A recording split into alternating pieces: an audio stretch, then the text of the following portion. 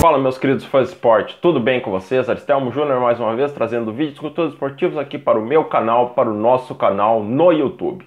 Mas antes de mais nada, já quero pedir a vocês que já vão deixando seu like, já vão compartilhando este vídeo, inscreva-se no canal se ainda não é inscrito, que vocês sigam sempre me apoiando, só tenho que agradecer, muita gratidão a cada um de vocês, meus queridos amigos, meus queridos inscritos, que vem fazendo uma troca mútua de ajuda, de opiniões, vocês me ajudando, vocês me dando opiniões para a gente fazer vídeos. Eu sempre me empenhando, buscando a cada semana trazer um conteúdo diferente, seja de entrevista, seja de reportagem. E vocês aí me apoiando, deixando seu like, compartilhando, se inscrevendo. Só tenho que agradecer, muita gratidão a cada um.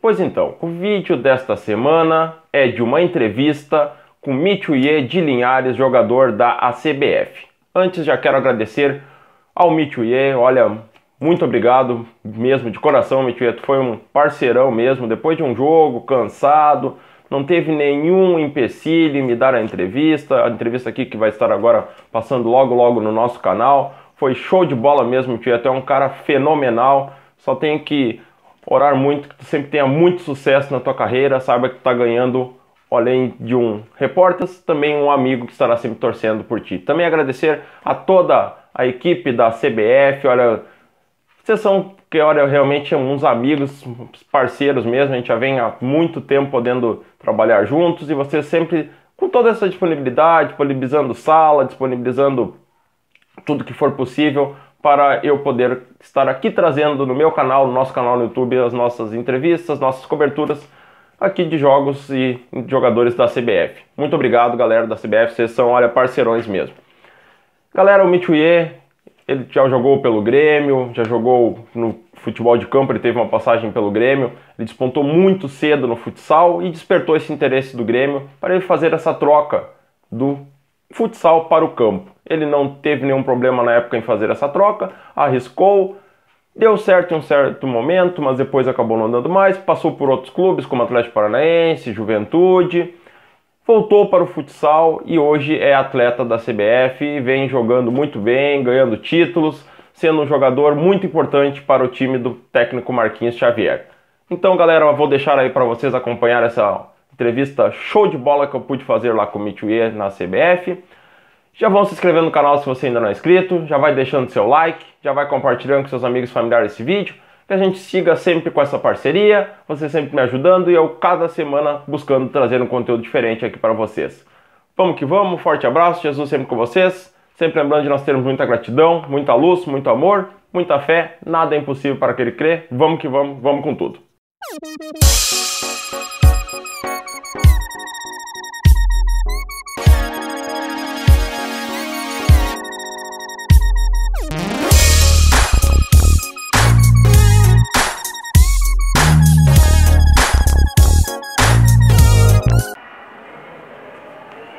Fala, meus queridos fãs de esportes. Estamos aqui hoje com Michuye, Michuye de Linhares. Prazer, Michuye, obrigado aí por estar me dando essa entrevista para o meu canal no YouTube. Então, Michi, é, sobre o começo da tua carreira, a gente queria conversar. Como é que foi para ti esse começo da tua carreira? Porque natural de Chapecó, tentou escalar mesmo. Como é que foi para ti lá o começo da carreira? É, eu sou natural de Chapecó, né? Comecei, na verdade, comecei como qualquer outra criança dentro das escolinhas 5, 6 anos de idade, no CRC, Chapecó, um clube lá. Enfim, como qualquer outro brasileiro, sempre fui apaixonado por futebol, né? Era o dia inteiro. E começou lá, desde novo, eu já levei muito a sério, desde os 6 anos disputando campeonatos estaduais, municipais, regionais, é, depois um pouco mais velho até campeonatos nacionais. Enfim, então tudo começou lá, fiquei em Chapecó, 15 para 16 anos. E aí que eu, que eu recebi. Eu já tinha recebido um pouco antes algumas propostas para sair, mas aí que realmente começou verdadeiramente assim, a vida profissional. Com 16 anos eu saí para Joinville, né? Do Jack Crona e aí. E aí sim que começou assim, a, que eu comecei a aparecer no cenário nacional. Tu sempre pensou no futsal? Como é que foi para ti? Sempre tentou buscar no futsal? Tentou buscar alguma coisa antes ainda pequeno no futebol? Como é que foi isso? Não, eu sempre joguei futsal. É, com 15 anos, 14, 15 anos, até apareceu um, um torneio para jogar de futebol de campo, mas coisa rápida, nada muito. É, não, não, nada muito que, que eu levei muito a sério, assim. Enfim, para jogar bola eu fui, joguei. Mas eu sempre joguei futsal, sempre a minha vida inteira, dos 6 anos até os 18 só futsal, só futsal, sempre focado no futsal. E o campo foi aparecendo aí, no, foi o destino aí que, que botou na, na minha carreira. Tá, então nessa parte assim, ali nos 18 anos teve uma ascensão meteórica, né? tava tipo, no auge no futsal e veio essa proposta do Grêmio. Como é que foi pra ti? Como é que tu encarou assim? Teve alguma incerteza na hora, bateu bem no futsal, arriscar um caminho novo, como é que foi pra ti assim? Tipo? Naquele momento eu não tive nenhuma dúvida, assim, a gente é muito novo, né? Não tem muita responsabilidade, né? É guria, não, ainda não tem um, é, uma família por trás para tu que dependa de ti, é, não, tem, não era casado, não tinha filhos. É, meus pais, graças a Deus, também tinham uma, têm uma condição boa, não dependiam de mim, então não sentia tanto esse peso para tomar, tomar uma decisão. É, recebi o convite do Grêmio para um período de teste e não, não pensei duas vezes. Né? Era uma oportunidade boa, né?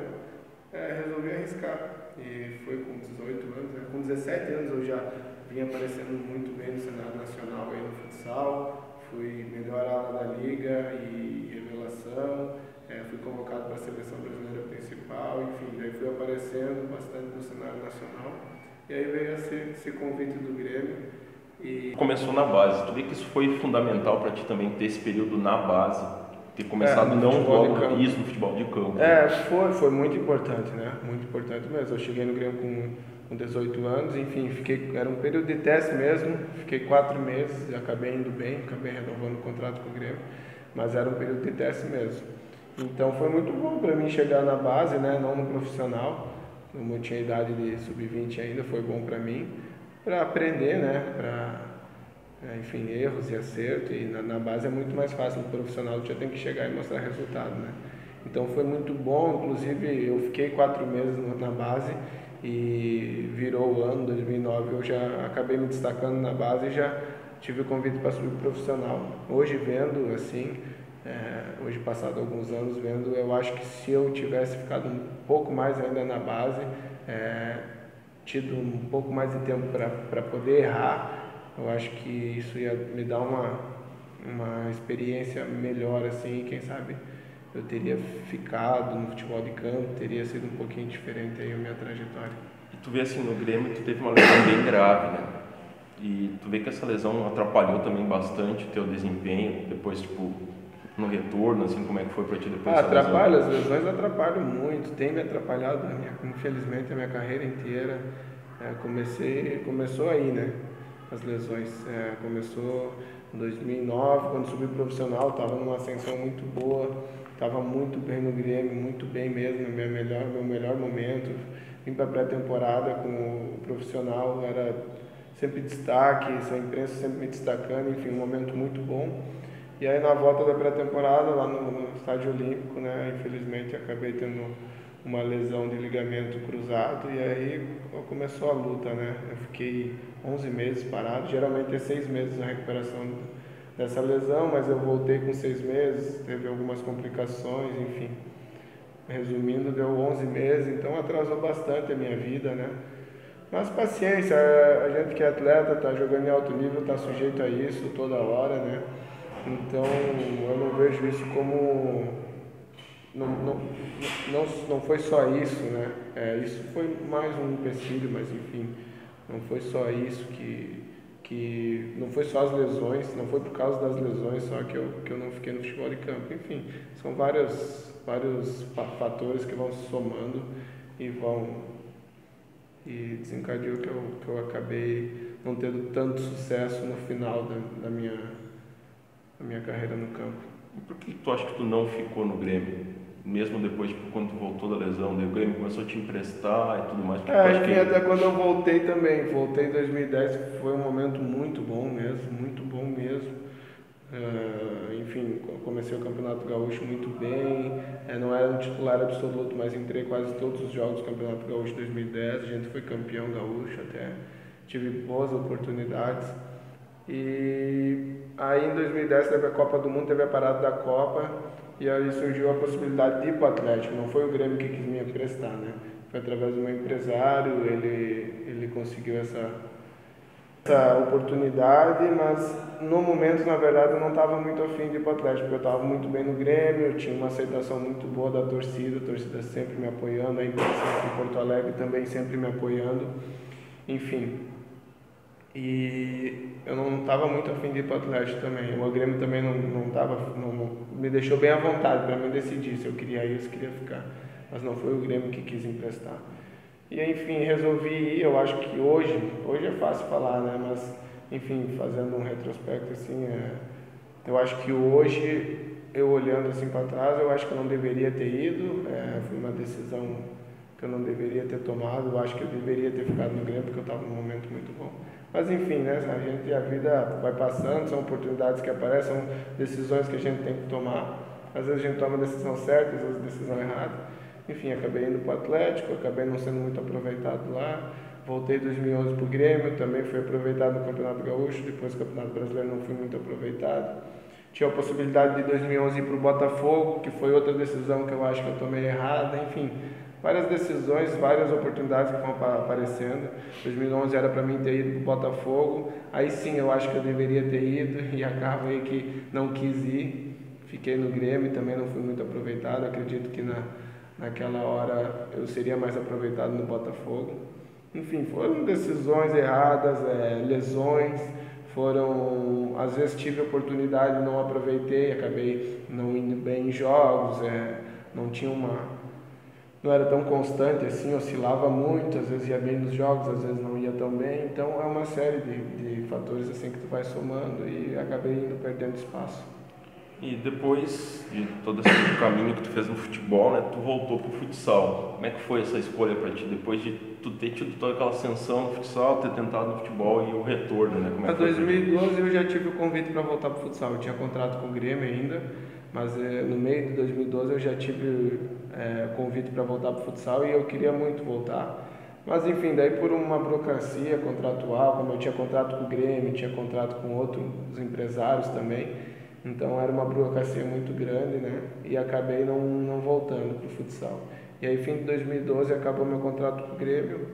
Enfim, rodei mais em alguns times. O CS foi em 2013, CSA de Alagoas, Maceió.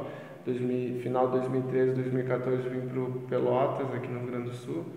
E aí no meio de 2014, pro meio para o final de 2014, de novo veio o convite para voltar para o futsal. E aí desde 2012 eu já tinha aquele, aquela vontade de voltar, né? Então perdi, comecei a perder um pouquinho de espaço no, no, futebol de campo e graças a Deus no futsal eu tenho uma segurança que eu não tinha no futebol de campo. Então é, sentei junto com meus pais, como eu sempre fiz, é, recebi o convite do Joinville, que era onde eu comecei, tinha muito, tinha muito carinho, tenho ainda muito carinho por Joinville. E, enfim, dei uma pensada, mas também não foi muito difícil de tomar a decisão. Resolvi voltar e não me arrependo dessa decisão que tomei. Estou muito feliz hoje de ter voltado para o futsal. E tua chegada à CBF, como é que foi para ti? Essa escolha, né? Depois tu teve para o Joinville e tu veio para cá, né? Como é que foi isso? É, não, eu acabei voltando para o Joinville em 2014, né? Fiquei uhum. em 2014, final de 2014 Joinville, 2015 Joinville, aí 2016 fui para Sorocaba, Magnus. E aí, 2017, final de 2016, teve o convite para vir para a CBF. Para mim, é uma realização de um desejo, né, de um sonho estar aqui. É, acho que é o desejo de todo atleta passar pela CBF, um clube grande, né, uma história linda, maravilhosa. É, eu tenho um carinho muito grande, eu sou catarinense, mas como fiquei muito tempo em Porto Alegre, tenho um carinho muito grande pelo Rio Grande do Sul, gosto do Rio Grande do Sul, gosto da cultura. É, enfim, sou apaixonado pela CBF, como qualquer amante de futsal. Então, estou é, realizando um desejo, estou muito realizado de estar aqui, ganhei alguns títulos já aqui nesses um ano, nesse um ano e meio. É, enfim, muito feliz de estar aqui, bem realizado. Era um sonho mesmo, era um desejo mesmo jogar na CBF. E graças a Deus estou realizando esse desejo. Esse Nesse sonho. teu primeiro ano, tu já conseguiu uma Libertadores. né? É, já fomos campeões da Libertadores, da Supercopa primeiro, né? Foi um jogo, mas muito importante que nos deu acesso à Libertadores e depois campeão da Libertadores. Esse ano também, 2018, bicampeão da Libertadores, né?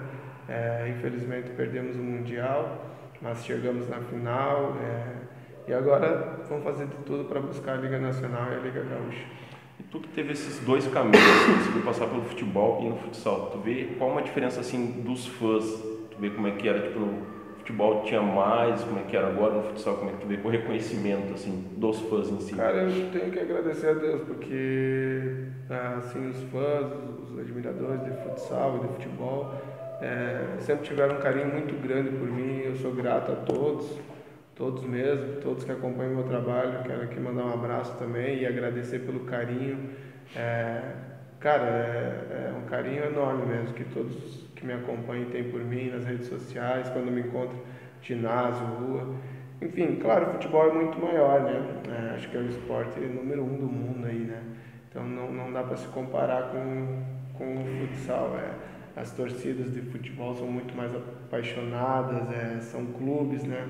O futsal é mais clubes e empresas, então às vezes a, a torcida não se identifica tanto. Aqui na CBF tem esse lado que é diferente, né? Um clube, a CBF é, é um clube sólido, há 40 anos aí de história, então a torcida, isso é bom, é muito parecido com o futebol de campo, né? A torcida aqui é muito apaixonada, a gente sai na rua, é, tem um carinho muito grande por nós, enfim.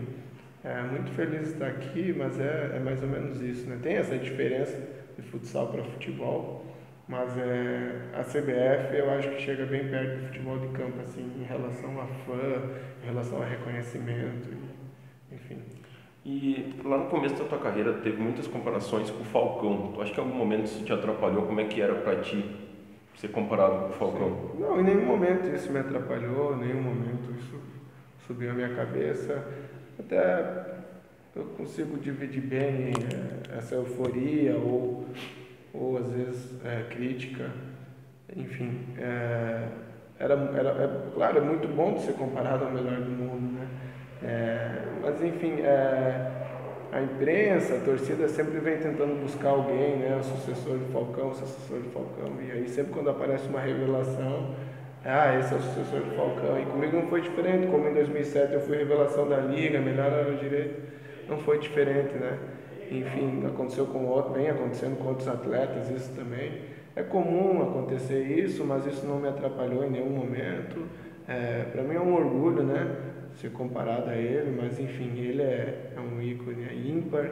É, eu me arrisco a dizer, nem, nunca, não teve nenhum igual a ele, me arrisco a dizer que acho que vai passar alguns anos sem ter alguém como ele, assim, ele, ele é maior que o futsal, né? Ele, o que ele construiu, a carreira dele é linda, é, é, enfim, dispensa comentários, não preciso nem falar, né? Tudo quem conhece ele sabe da história dele.